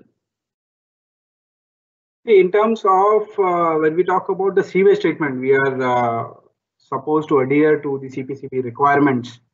Uh, however, there is no such requirement uh, which uh, commercial buildings have to report in terms of indoor environment quality. Uh, however, it's very important to monitor for your own benefit. So the indoor environment quality, uh, uh, the parameters such as CO2 and the VOC levels and others can, can be monitored. So the most important factor is CO2, which we say that has to be monitored in a green building. Through the fresh air ventilation, we are trying to address that. So okay. this, these, I, I hope that I am able to co cover the entire method that he was talking about. So hmm. for uh, sewage treatment, yes, you're uh, you're supposed to test the quality of water and it has to be reported. Uh, however, for uh, energy and for indoor environment quality, there is no such requirement as such. Fine, thanks, uh, Himanshu. Uh, similar to this, Mr. Avik is willing to know that whether IGBC accept smart lighting solution as an efficient tool to address the minimizing the lighting power consumption? See, smart lighting can, uh, I mean, can, can you repeat what, did, what, the, what is the keyword smart lighting solutions? Uh, okay, so I'll uh, request uh, uh, Mr. Avik to kindly um, uh, share the details uh, in the chat box or can personally message. In the meantime, we'll... I will uh, I'll talk about smart lighting solutions. very, I mean, you have seen increased usage in terms of IoT, in, in terms of home automation and all. So yes, smart lighting solutions are, are promoted by us. In fact, we, we do accept in the rating system also. Uh, whereas when we talk about the rating system, it particularly talks about how you're reducing your energy consumption. It could be the uses of smart automation, through occupancy control, through uh, home automation, and many other things. The key aspect is reduction reduction in energy consumption through whatever modes. To in in in a nutshell, yes, uh, smart home automation or uh, in uh, smart automation in any buildings, not just home automation in, in commercial buildings, in industrial buildings, of course, that is promoted. Okay, fine. Uh, so uh, there is another uh, query. I'm just uh, uh, taking a little bit uh, on the other modules as well, and then we'll come back to the energy because there are many questions on the energy segments, and shows its obvious importance. I'm now coming to some rainwater harvesting uh, challenges what the projects uh, generally faces. The one is uh, uh, a notion, and this question is not by any of the participants, but by myself, that uh, there have been many projects uh, which is having the rainwater harvesting systems. They have been collecting the roof water as well as the non-roof water, rainwater, and then having a pit the projects are under the impression that because they are covering the entire roof and a non-roof, they should be considered as a hundred percent uh, uh, rainwater harvesting uh, capacity uh, criteria, and then uh, should be getting the maximum points. Uh, so Himanshu, I would like you to give some emphasis on the uh, the right things because sometimes it has been seen that despite collecting all uh, the roof water and non-roof water the size of the pit is so small it couldn't achieve even 25% of the requirement uh, would you like to elaborate himanshu for me and the audience? Absolutely, Puneet. So uh, I think we we have seen this in many projects, and uh, uh, the, the very important aspect over here is many of the projects have uh, not taken into, consideration what is the one day rainfall which is available to them. So what IGBC rating talks about is ideally we say at least one day peak rainfall should be captured by the project. Now this rainfall which is uh, being captured can be captured from the roof area as well as non-roof area. So number one, uh, the first requirement is to calculation of what is the available amount of water based on the last five year uh, rainfall data with you. So let's suppose say you have somewhere close to around uh, 300 uh, cubic meter of rainfall which is available. Now um, from this 300 cubic meter, if supposedly you are able to store around 200 cubic meter and percolate another 100 cubic meter, that would suffice the requirement of rainwater harvesting. Let's suppose say we are talking about 100% rainwater harvesting. So this is how we approach for rainwater harvesting requirement for existing building rating. So first and foremost, first is calculation of what is the amount of rainwater available with us uh, in terms of one day rainfall, then calculation of in terms of what is the amount of water that you are feeding into the ground or storing, and that then we should see what percentage we are. So I hope that uh, uh, I've answered it. Uh, a very good tool for this uh, is uh, our own template that we were talking about, the EV template, where the calculation methodology is given clearly and uh, the calculation, the coefficients for different type of surfaces. For an example, for roof, which is concrete, the runoff coefficient would be 0.95 uh, for uh, areas where there is soil, the runoff coefficient could be 0.05.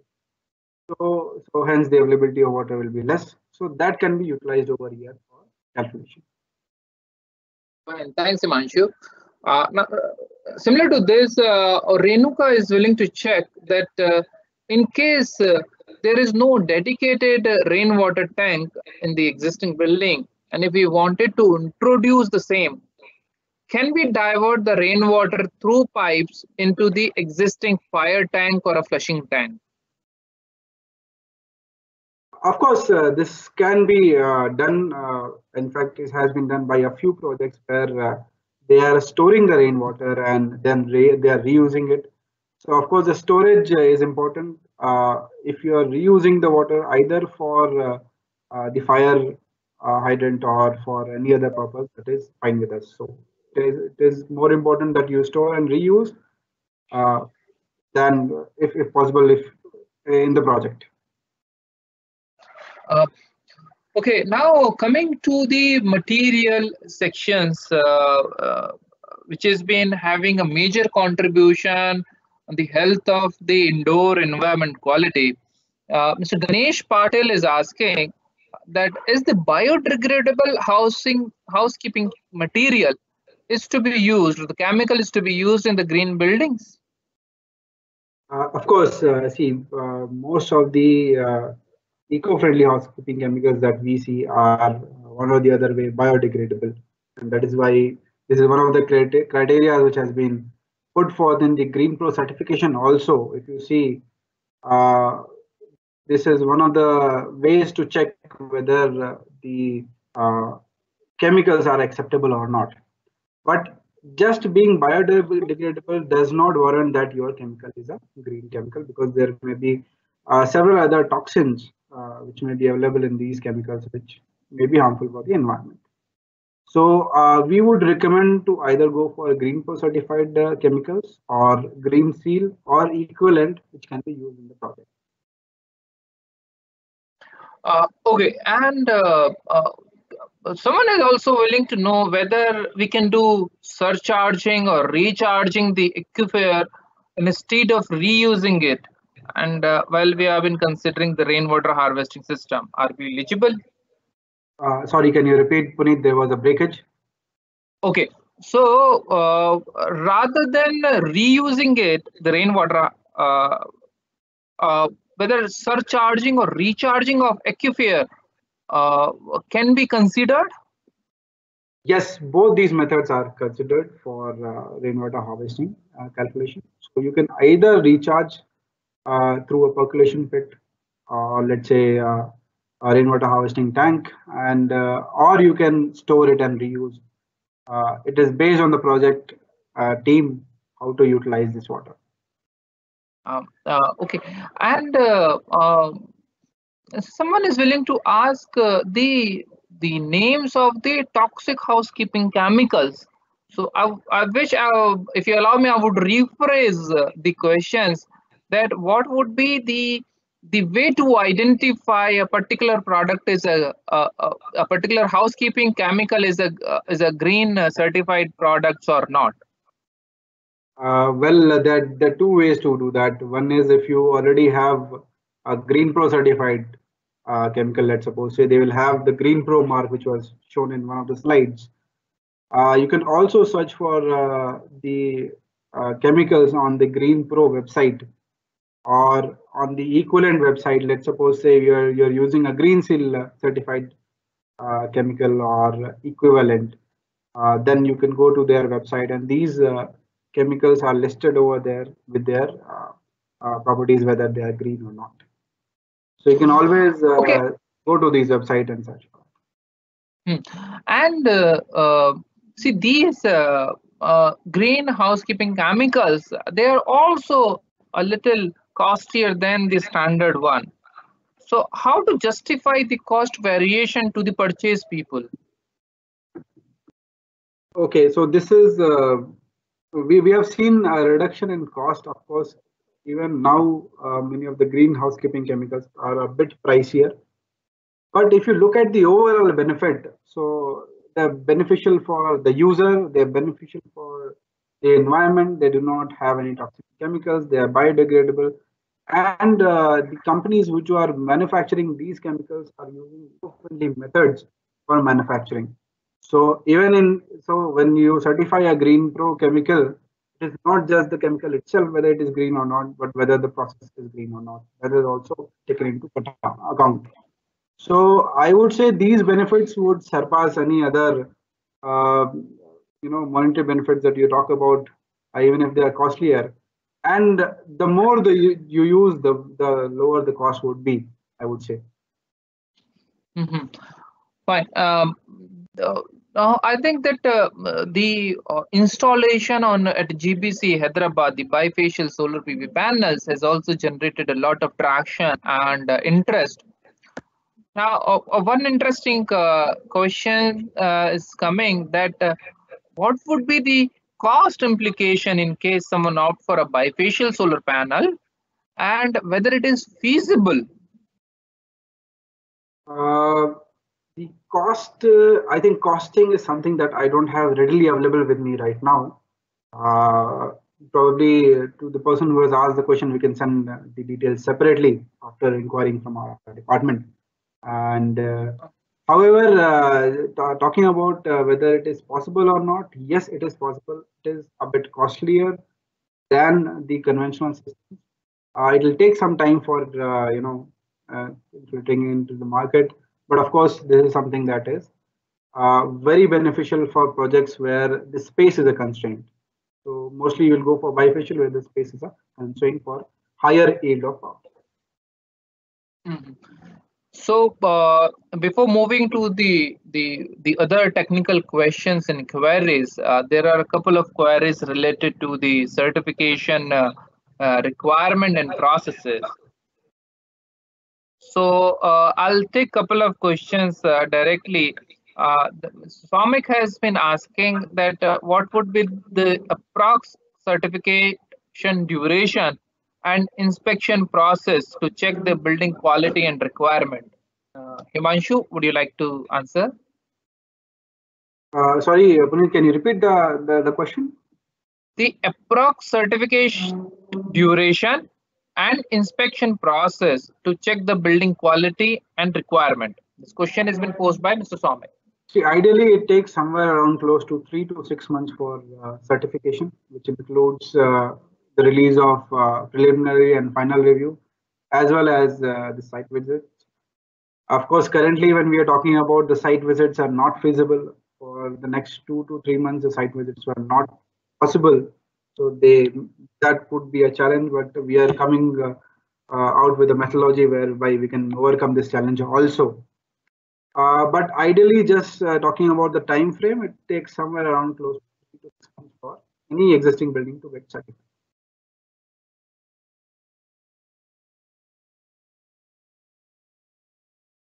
Puneet.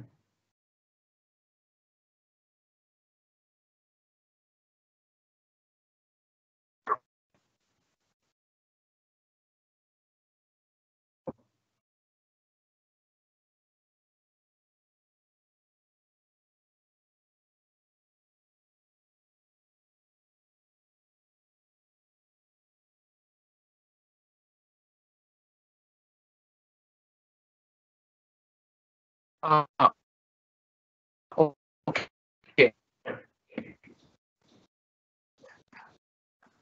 Uh, now uh,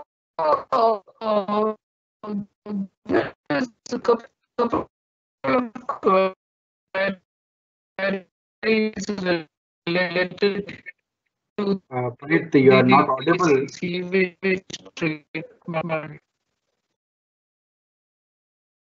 Probably there is a problem in the connection. Yeah, so very, uh, very check on, Himanshu, my was in the ministry check. Uh, is it better? Am I Yes, audible, audience, am I audible? To me, you are. Okay, so I'm posing another, uh, Mr. Parikshit is willing to ask, to check the electric car charging point capacity or any other specific requirement. Uh, as per the model building uh, bylaw, which has been uh, published in 2016, around uh, it's supposed 20% is recommended. 20% of the, the parking space to have uh, uh, charging space. Uh, there is no specific requirement as as of now in the current rating system. Uh, uh, however, in the new rating system, uh, the new version, which is uh, going to be released very soon, uh, the requirement for electric charging charging points are there. You can always refer to the model building uh, bylaws as well as uh, one uh, uh, document which has been uh, released by Ministry of Power for uh, for such guidelines. Uh, okay, uh, Ashwara is willing to check uh, that uh, she wanted to develop a roof garden on the existing building. Huh? Is there any, do you wanted to throw some light on the what kind of a treatment or a precautions to be taken care for this? Uh, it is very important uh, to uh, you know treat the, the the roof before you implement a roof garden because and otherwise uh, there will be seepage, there will be leakages and all. So it is uh, it is very important to treat uh, the the roof before this. Uh, uh, we we have a specific guideline for that. In fact, I can share a presentation on that uh, to, to the participant for for the you know treatment of roof as well as then implementation of roof garden.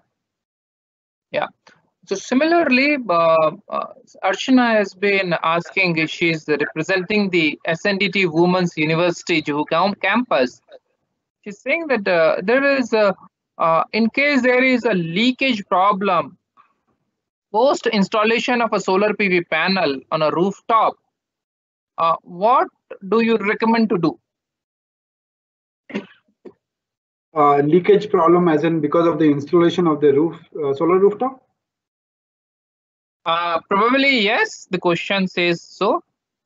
Uh, it is uh, I, I believe you have to treat the roof for for the leakages in that case. Uh, in in fact, uh, when we are talking about the treatment of roof, also it is very important to treat the roof when we are implementing the uh, the the solar uh, rooftop system, because uh, in in case that you are drilling the drilling a small hole into the the roof, uh, it might uh, have uh, you know resulted into uh, some amount of cracks and all, which would uh, result in seepage. So it is important that uh, you address during this uh, during the implementation of the roof rooftop roof, rooftop solar PV. I, I don't know whether I have been able to answer that, but uh, uh, probably she'll have to elaborate what is the specific problem to address that.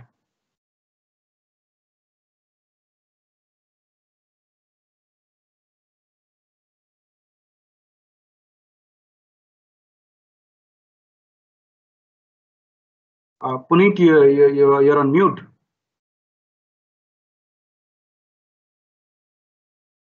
Uh, thanks, Himanshu. Um, so probably uh, the uh, civil activities might have been compromised uh, either initially or during the installation. So this problem uh, might have uh, came up. It is good to have the problem showing the face so that we can have the rectified measures implemented to save or to enhance the age of the structure. Uh, similar to the rain water or runoff, that uh, if we collect, uh, someone has asked anonymously that if we collect the roof run roof runoff and in calculation the capacity complies, but the non-roof runoff are drained out, is it considered? No, for green building certification, both roof and non-roof areas are considered or calculation of uh, one day rainfall or certificate. Now, so in case uh, you are able to uh, have uh, the uh, compliance with the only not only the roof uh, runoff, then it is fairly okay. But the calculation, the requirement, the benchmarking should be based on a roof and a non-roof areas. Uh, Puneet, actually going the the simple way to answer this is when we are calculating the amount of roof and non-roof runoff available to us. Uh, I don't think it is possible that you can have more runoff than what is uh, calculated. Right. So, mm-hmm. in a sense, when we have to go back to the calculation, when we are seeing what is the amount of water or rainwater which is available for both roof, roof and non-roof areas. So both okay. of would these would uh, be considered for uh, compliance. Okay, fine. Uh, thank you. Uh, now there are a few more queries related to the indoor air quality and specific to this COVID-19 uh, lockdown scenario. Uh, Kirti has been uh, uh, willing to check, is there any Indian standards for maintaining the indoor air quality? Of course, in Indian standard, one such standard is ISHRAE's Indoor Environment Quality Standard 10001 which can be referred uh, for the indoor environment quality uh, for buildings. Mm -hmm. And uh, Ankush is willing to check. Himanshu, may I? Yeah, please, please go ahead. Yeah, Ankush is willing to check whether uh, how will we arrange to do things in regard with construction work after lockdown? Means the protections for the uh, any guide any such guidelines post lockdown for the construction work? Yes i believe i have spoken about uh, this particular guideline. Uh, of course this is not the platform where we are discussing in detail about uh, the guideline because a lot of things have been uh, spoken about in this particular guideline so probably Puneet will be putting uh, this document up on our website and people can access from there uh, so this has been released just yesterday, the guideline for uh, uh, post-COVID uh, situation in green building. So you can anybody can refer that for uh, uh, this, and then if you if they have further questions, they can come back to us. I think all these sure. questions have already been addressed in, in this particular document. Mm -hmm. Mm -hmm. So there are other interesting things which has been checked that in the glazed, Nikhil has asked posing this query, in a glazed or envelope design, due to the presence of windows, having provision of a fresh air intake is an issue. In view of the guidelines to increase the fresh air circulation and flow in times of COVID, can we go for having openable windows installed by replacing the DGU panel installed? Uh, when when Puneet, uh, uh, there was uh, some disturbance, but I think I have been able to understand the question. Uh, I believe uh, people are, uh, the, the, the, the, question which has been asked is related to whether or not to introduce openable windows in glazing areas. I, I hope that is correct. Yeah. So uh, if, if at all the building is able to meet the requirement of ventilation, uh, this is not necessary. Uh, that being said, of course, WHO and CDC and others have spoken about uh, ventilation through uh, windows and openable areas also. But uh, introducing new windows in, in, in these uh, glazed areas may not be the a very good solution. Mm, well, thanks, uh, thanks, Himanshu. Uh, now, one another interesting question which comes to me is that is there any benchmark value for a specific energy consumption of a person living in a green building. It is about per person energy consumption benchmark. Uh, I, this is an interesting uh, question, in fact, Puneet. Uh, I have not come around any such uh, benchmark till now, but of course, uh, the point uh, raised over here is, is really valid because we need to look at the energy performance of buildings, both in terms of uh, the area as well as people. Uh, in fact, uh, EPI in terms of area is what has been published till date, where we are talking about energy consumption per square foot or per square meter of area per uh, year. However, no such data is available for energy consumption per person per uh, per year. Uh, so that baseline is not available with us, of course, uh, but each building can have their own baselines and they can compare the per person consumption.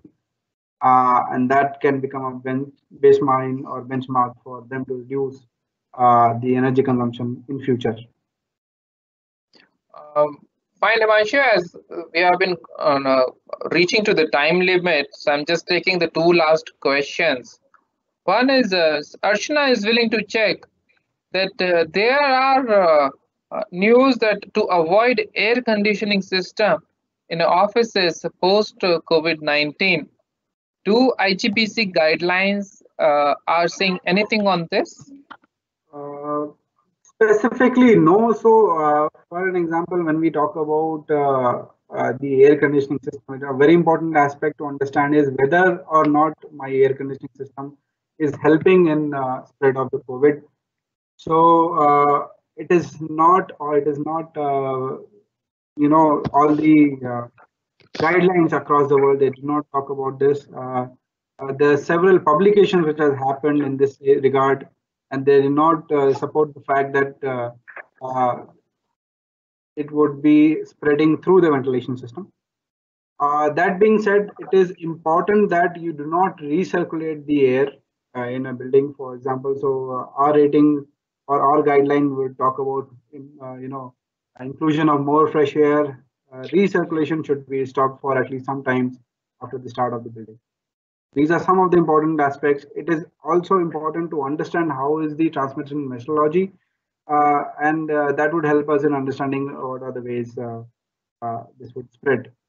ventilation is not part of this. so you can always go to the guideline and you can refer.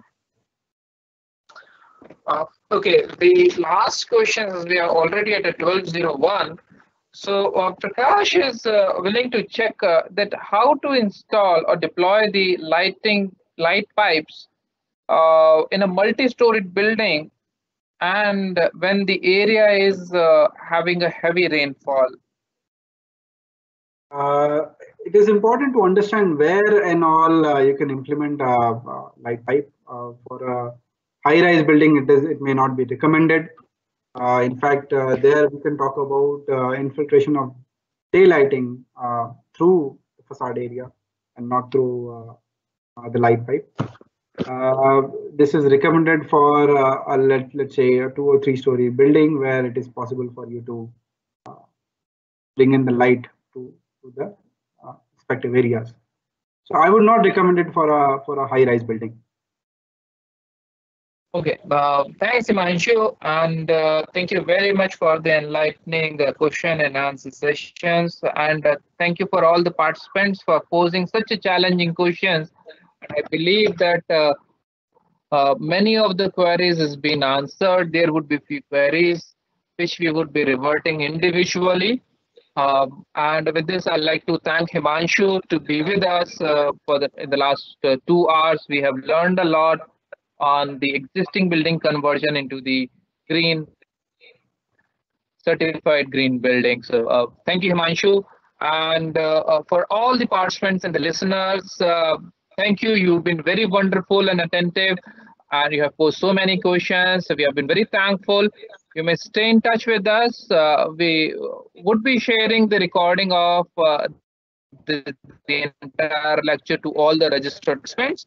And on the email, you may also revert in case you have many more questions. Uh, uh, I would also like to thank uh, my colleague Nilesh, who's been hosting and arranging and then sharing this information with uh, all of you. Thank you, Nilesh. Thank you, everyone. Thank you, Himanshu. We are closing for the day. Thank you. Thank you, Puneet. Thank you. Thank you for the wonderful session. everyone.